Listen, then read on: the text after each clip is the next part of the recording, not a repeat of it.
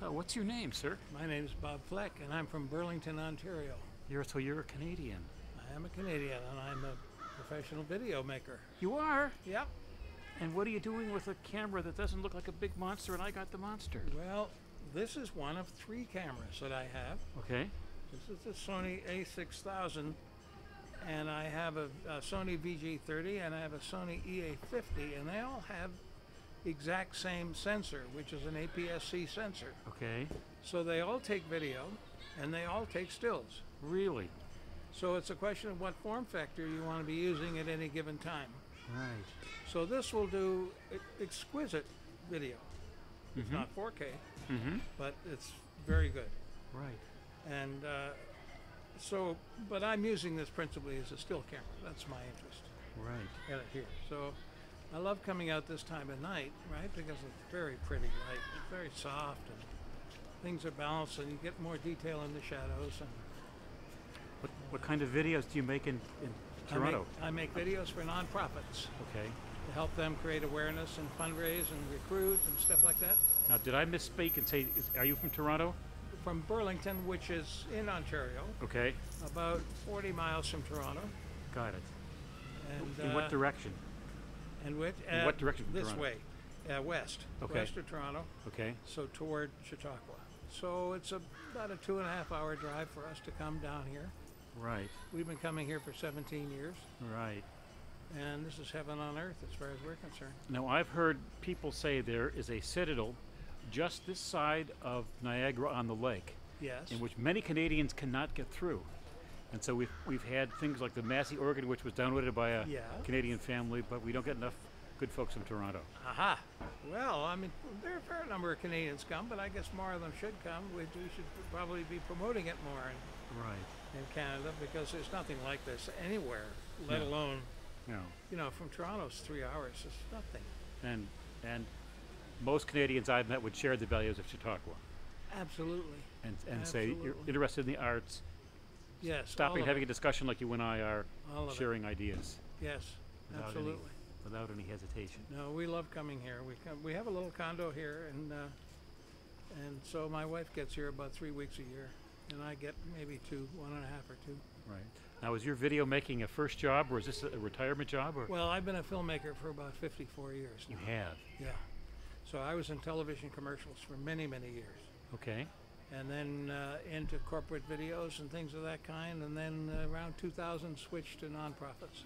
Okay. So I've done about 130 videos for nonprofits at uh, little or no cost to them, Great. which is uh, it's fun. It's very interesting. Great. And I was here interviewing Joan Brown Campbell actually on Tuesday for a compassion video that we're doing. So Joan Brown Campbell was head of religion here for 14 okay. years. She's Tell me about your compassion video. Well, I'm getting to talk to a lot of people. Uh, this is sponsored by a gentleman in uh, Canada who was uh, COO of BlackBerry. Okay.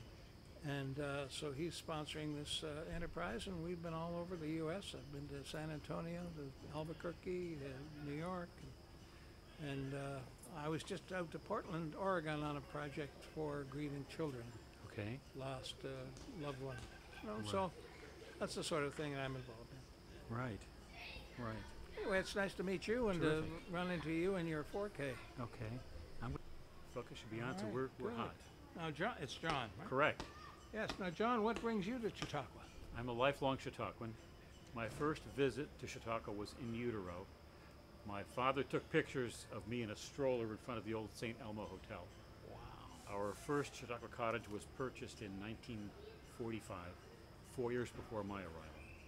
Now, are you going to tell me how long ago this was, John, or not? Well, I'm a 1949 model, Okay. and and I turned 65 the end of this month. I don't know how that happened, Ah, but in this incarnation, I'm out teaching college psychology. I am uh, making videos only if it's fun. I'm a bit of a techie, so I had to be one of these people to get a 4K camera. yes. and yes. um, I, I kind of laugh at it. The best video demonstrating this camera was not made by Sony. It was made by a gentleman who appears to be a Toronto native, and, and he shows some scenes from Toronto, scenes from Niagara on the lake, and, get, and I think he's been in a warm climate, and, and the Caribbean or Mexico or something. Came out this winter. So I'm very delighted to run into a Canadian and uh, share it. My family spent about one generation on my mother's side in, in Hamilton, Ontario. So- Really? So, we always say, a little sympathetic to, to Canadian. Well, Burlington is like right on the edge of Hamilton, Right, so that's that. right. And she, she died before my time, so I, Yes. I'm not able to sit there and, and really go for the details. The year you arrived, the year you departed. Yes, I know was your, what what was your like. family life like? Can't do that. And your work has taken you even as far as Cuba, right? I've, I've been to Cuba, and and um, I shot another National Geographic expedition this spring. It was was fun. Actually, I went to Europe with students, and we were for two and a half weeks looking at sites for academic psychology. Went to Paris, Würzburg, um, Leipzig, Bayreuth, Vienna. I put the students on a plane in Vienna and sent them home. I got on another plane, went to London, and did the National Geographic D-Day expedition, which was delightful to go to north of, of uh, London to Bletchley, where they did the signals uh, intelligence analysis, then to uh, into London itself to the war headquarters, and to to a cruiser in the, in the river down south to Portsmouth, saw a couple of museums, saw the location in, inside a British secure military facility where Ike made his decision. Crossed the channel in a thoroughly inauthentic situation. The channel was perfectly still, looked like Lake Chautauqua on a windless day, in a six-floor, six-story uh, fancy ferry. Yeah. Walked the beaches, um, did a couple of museums there, went to a British and American and, and a German cemetery, and then finished hearing two presidential addresses while we sat in the American cemetery there, um, with a sea of crosses on both sides. I'm going to So- change the frame a little bit, John. Yeah, by all means. So, so the big project is this. I hope to go back to Cuba, and I need to. I'm going to get this. I'm going to stop for just a minute. I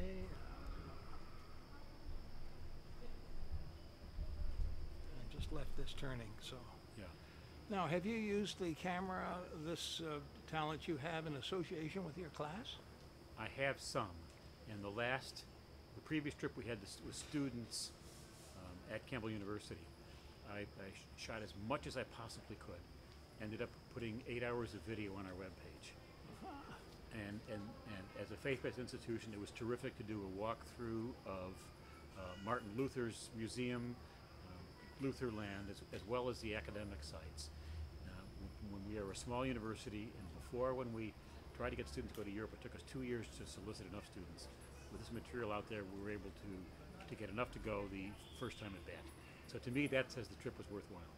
Now, Where is, where is Campbell Campbell is midway between, it's in North Carolina, midway between Fayetteville and Raleigh, in a little town called Buies Creek. Yeah. The university's probably focuses more on the state, but we do have a medical school, a law school, and a pharmacy school. We're very proud to look at the academic success of our graduates. Our lawyers have the highest pass rate on the bar exam of any law school in the state for the past 10 years. Only once when we haven't been successful with that. We came in second behind Duke, and our pharmacy students have- are the only ones with a 100% pass rate on the national exam. We've done it twice, and nobody else has done it zero times. How many students do you have? We have um, about 5,000 students, and our freshman class will be the class of 2018. Looks like it's just over a thousand. So we're very happy about that. Well, It's a vibrant university, you would say. Say, I think it's, it's a fine place, absolutely fine, Yeah. and, and keeps to its values and does good things.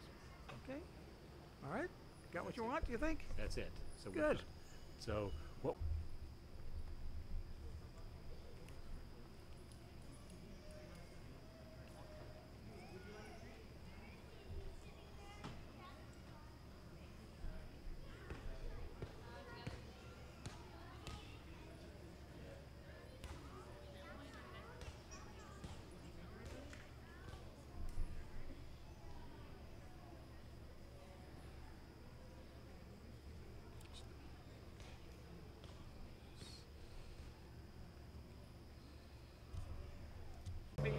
You've been coming to Chautauqua for how long?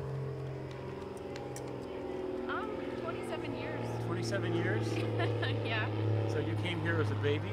Yeah, uh, pretty much. My parents were really interested in Chautauqua. Um, my dad likes really liked to walk here. Huh? Um, I went to Boys and Girls Club for 15 years, and then I pretended to be 15 another year so I could keep going. Right. So, uh, all of my best friends and I stay in contact. We all met at Boys and Girls Club. You did. Um, and it's really funny because I just saw my best my best friend's parents saw me here doing portraits in the park for free, Mm-hmm. and they stopped and took a picture of me because she's she knows what I've been up to lately, Right. and she knows that um, I actually I'm working now as an artist. And I told her recently, like, hey, Lorna, I've been doing portraits of people in Chautauqua again. Remember when I was 14 and I used to draw portraits in the park? Yeah. she was like, "Oh, Shelly, that's so cool. I'm so glad." Well, now she has p- proof that I'm that I'm doing that. Right. It was very. It was a very serendipitous encounter. It really was. They took a picture of me, and I was in the process of drawing these two young choir students, so it was really funny. Uh huh. Uh huh. This is uh, three scoops of ice cream. It's gluten free at the Saint Saint Elmo. No, Same. Yeah. Food for Thought. Oh, okay. Go down And- the stairs. Yeah, down the stairs. Mhm. You have to order it in store, Right. and they'll make it for you. Right. and they didn't have cotton candy today. That's my favorite. But they had butter pecan and they had a bunch of other flavors, and I was happy to find out that many of them are gluten free. They are.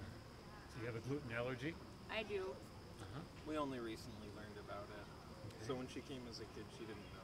Hmm So you walk around with a stomach ache then. Yeah, yeah, it's pretty. It's a pretty rough allergy. You have to really watch what you eat. Uh huh. But you can eat lots and lots of ice cream, That's Great. so that's good. That's great. and where, what has the best ice cream here at Chautauqua? Um, I I think I think the I like Food for Thoughts ice cream. I really.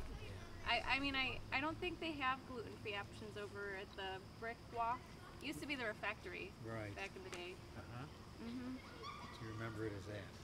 And Sadie J's. We used to have Sadie J's, and Uh huh.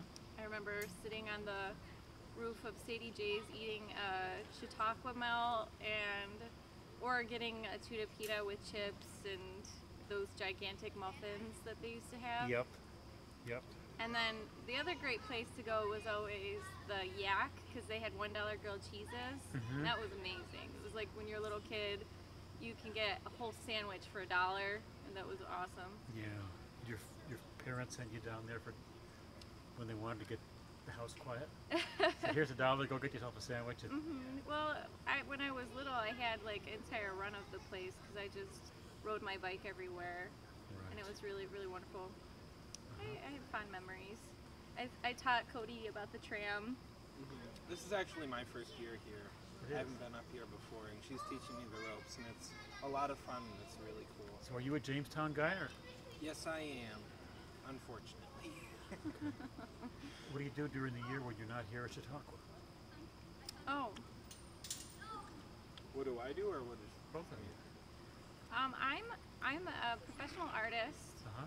Um, I've I've been I'm actually I'm kind of like classically trained. Yeah. way. So I went to art school. Um, I want to live in Italy Uh-huh. or France or someplace Uh-huh. because I think like it'd be nice to have more of a to have more of a, an art influence all around me Right.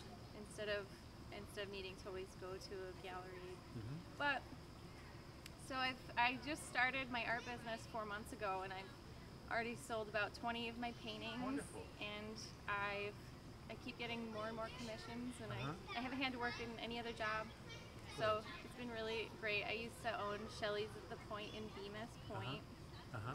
and we had I was like 19, and we had a little gallery, and so I'm just doing art stuff and trying to figure out how to how to make it work as an artist. But you're making enough to buy ice cream. Yes, I am. And to buy my boyfriend ice cream too. Great. Where where'd you go to art school? I went to SUNY Fredonia. Okay, close by. Yeah, it was a good degree. That's great. Oh, um, you should show him the, the painting or the drawing you learned how to make today. I'm teaching him how to do everything that I know how to do. Uh huh. Starting today, this is my first lesson.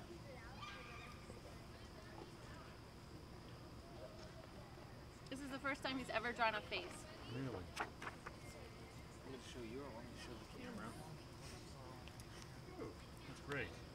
Not really, but Oh. For a first draft Sure. ever, For the first one, first one, it's really good. He got all the por- proportions down. Uh-huh. The eyes are a little big, but the hair's in the right place, mouth's in the right place. So our next lesson, he's gonna learn more about shading and how to get, how to, and he's gonna do a lot of, um, I'm gonna make him draw from life and stuff. So he's gonna get more. I'm hoping he'll be up to speed in about a week. Great. I'm the boyfriend, but I'm also the apprentice. Okay, that's okay. At least you know your place. Yes, so. That's terrific. Yep. So you'll be back to Chautauqua then, sir? She, we already, don't even ask her the question. Oh, I'll just look this way. You're committed. I'll, I'll find something else to distract me. This was always a good time to be out in the um, Bestor Plaza too. Mm-hmm. If you're an artist, you know the light, or soft light this time of this time of day. Oh yeah. And it's fun to see kids out playing on the fountain. Mm-hmm. Have a good old time about it. Oh, definitely. We just did a tour on the tram. The tour guide um, talked about all of the houses, and I, I learned a lot that I actually didn't really know Really. about the, the architecture and the different and the different people here. And um, something else I didn't know is that the that building there, the Opera House, is only it only performs one show a year. Norton Hall. Norton Hall. I didn't know that, so that was kind of interesting to me because I had a friend who who worked for that for the opera company, so that was kind of cool. They used to have more shows in there, and opera doesn't. It's very expensive to put on. It doesn't sell very well. Okay. And so they reduced the number of shows. Now, now they do one in the amp. Okay. It's the smart people, and I count myself among them, say, yeah, prepare two operas. But- but People tend to turn over. We don't have a lot of people who come and stay for the season. Mm-hmm. So do the opera twice in July, do the opera twice in August. Oh, definitely. it's two operas, one, one each in July, one each in August. Get out of that building completely. You mm-hmm. turn, find some post-opera use for it. Mm, definitely. And, and when they have lectures, there's not enough space, but they, they get a capture on a television, mm-hmm. and that should be also shown down in the down in Norton Hall. Big screen, state of the art kind of cool. jumbotron screen, Oh, definitely. right in the front there. Cool. That'd be really cool. So we need we need you to sell some sell a lot of paintings for a high price and give us the money to do it. Is that okay? Sure. I can raise my prices. yeah. I can be persuaded. So have you have you traveled to see any art museums that are particularly significant? Um, I've been to Paris. Um, I've been to the Louvre. Um, the Mona Lisa is really pathetic. it's small, but no, I'm just kidding. Um, I don't know. It's uh, I've been to the Met. I've been to um, I've been to Albright Knox. I've been to a lot of really impressive smaller galleries too. Um, I think I've been to Soho. I, I used to do a lot of traveling when I was a kid because because my parents had friends just all over. So we Yeah. we used to go to New York about twice a year, Yeah. three times a year. I used to go to Florida about once or twice a year. I'm not a Um, New York City person, but I've I've been to two very good European areas for art. London, go to New Tate. Oh yes, I think I've been there. I- Okay. There's the old power plant building. Mm -hmm. You walk out with the Millennium Bridge right across, mm -hmm. and Vienna um, Leopold Museum. Okay, that would probably be Gotta- pretty cool. Got to go to Leopold. there's, there's a series of museums there. Leopold is is a little more cutting edge. And then there's, there's a little more staid modern art museum at the other end of this quad you got to see. And then some some staid stuff with 15th century with with gold frames. That mm-hmm. doesn't doesn't get my juices going. but but 21st century, 20th century, mm-hmm. and um, that's a lot for me. Leopold Kopp has an exhibit that's significant like that. That's really cool. Other- Yeah, I really want to start traveling abroad more because I think the appreciation for art is kind of It's higher. declining a little bit in this country. Yeah. You But- get too much mass-produced stuff. You buy it Walmart. Right. Well, and I think that's why I'm doing well right now is because people don't know where to get art. Yeah. And a lot of my friends are artists and they won't sell their work because they were they were they had it ingrained in, ingrained in them in art school or growing up that art isn't about making money and stuff. So so they're not they're not doing it professionally, which means they don't have the time to really pursue it because they have to work Yeah. and then and then people have to buy their stuff at Walmart or TJ Maxx or Michaels or wherever. So I, I feel like I have very little competition in this area, but maybe that's maybe that's just because uh, I don't know. Maybe that's just because I most of my friends are out of town and I don't really know exactly what they're up to. Right, right. Well, terrific. So what, what are most of your common subjects? for art you that we do? Um, a lot of people have me do family members with their children. When I was working in Bemus, I used to do a lot of portraits of young girls in the park, and I'd I'd actually collect them, and it'd be like a babysitting day. They'd come, and I'd dress them up and take a, take like a photo shoot, and then draw their painting. Usually the painting would take me about a day or two. And some people, I mean, as I've I try I've developed the ability to be pretty diverse. So people have me do a lot of different things. They'll they'll describe it for me. Mm-hmm. They'll describe exactly what they want, and then they'll, I'll just make something that fits their description. Mm-hmm. So I've done a peacock, and I've done a lot of more modern stuff that I wasn't really expecting to do.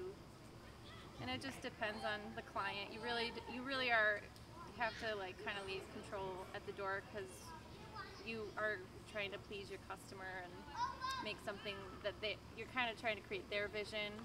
You're not really working for yourself. Yeah, So it's like any other job, really. I mean, you have your you you, you do have a boss, and it's it's your customer.